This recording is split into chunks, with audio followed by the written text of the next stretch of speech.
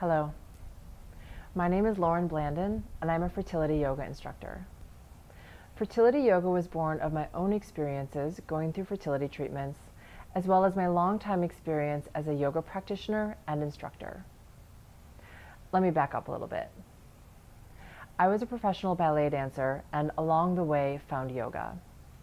I was incredibly fortunate to have studied under some very well-known teachers who helped to bring yoga from the East to the West.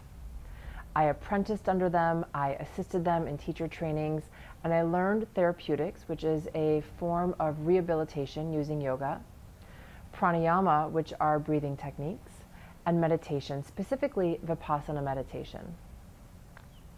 When I decided to go through fertility treatments, I went through a series of tests and found out that I have low ovarian reserve.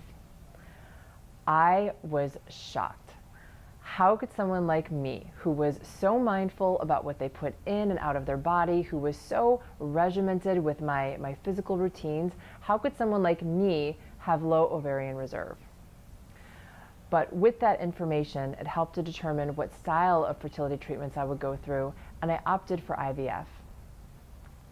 Before I went through treatment, my doctor told me that I was going to have to back off of my physical routine because of something called ovarian torsion. Ovarian torsion is when the ovary or fallopian tube will twist on itself. And this is something that can happen through fertility treatments, specifically IVF. When this happens, blood is no longer able to access the ovary and the ovary will die. The only way to remedy this is through emergency surgery. This piqued my interest because at that same time I was taking lots of science classes preparing for nursing school and I wanted to understand what was happening both physically and physiologically in the body and so I really dove deep trying to understand what was happening and how I could prevent ovarian torsion while going through fertility treatments. So while I knew I was going to have to back off of my regular yoga practice, which at the time was consisting of both Ashtanga and Iyengar yoga, these are both very physical, very demanding, and athletic styles of yoga. I also knew that my yoga practice was going to help me during this time, and I didn't want to abandon it completely. We all know how beneficial yoga is for the physical body, but it is extraordinary for the mind. And because this was going to be a very stressful time, a time of uncertainty, I, I wanted my yoga practice to support me while I, I went on this journey. So I shelved my Ashtanga and Iyengar practice and I instead started practicing a style of restorative yoga, which is something that I did do every month during my period.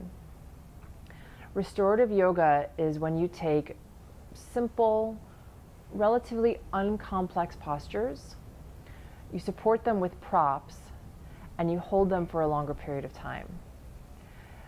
In doing so, this sends a parasympathetic nervous system response to the body and it, it shuts down the fight or flight response and turns on the feed or breed or the rest and digest portion of the nervous system, which is when blood, oxygen, nutrients, goes to the reproductive organs and it sends a signal to the body that lets us know that we are safe.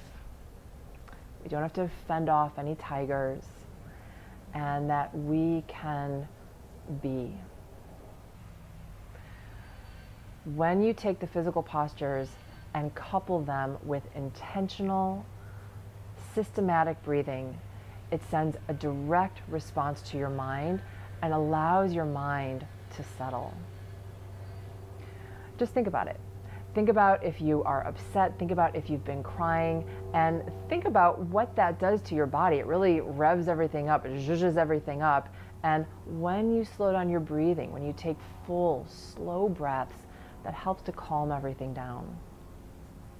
So the physical postures coupled with the intentional, systematic breathing is a gateway for meditation. Meditation is yet another tool that helps to steady and calm the mind.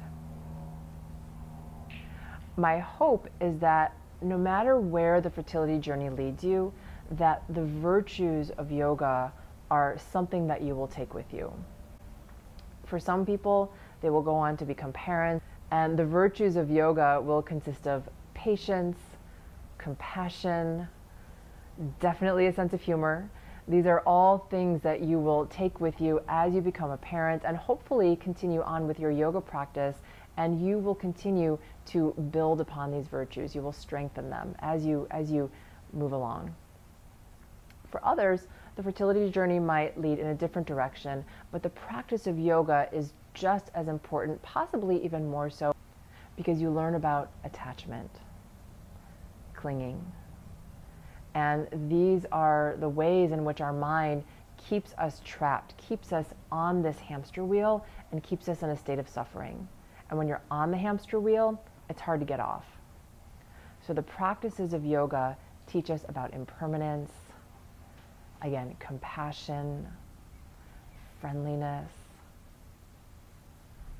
and this ultimately brings us to a state of peace, which is your natural state.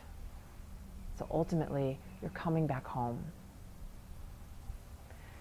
If you'd like to work with me, please find me on my website at laurenblandinyoga.com. I work one on one with clients. I have group courses that are available. You can also find me on Instagram at Lauren underscore Blandin.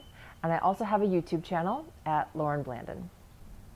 Please email me with any questions you might have. I hope to serve you in any way that I am able. And my greatest hope for you is that you will find peace no matter where you are. Namaste.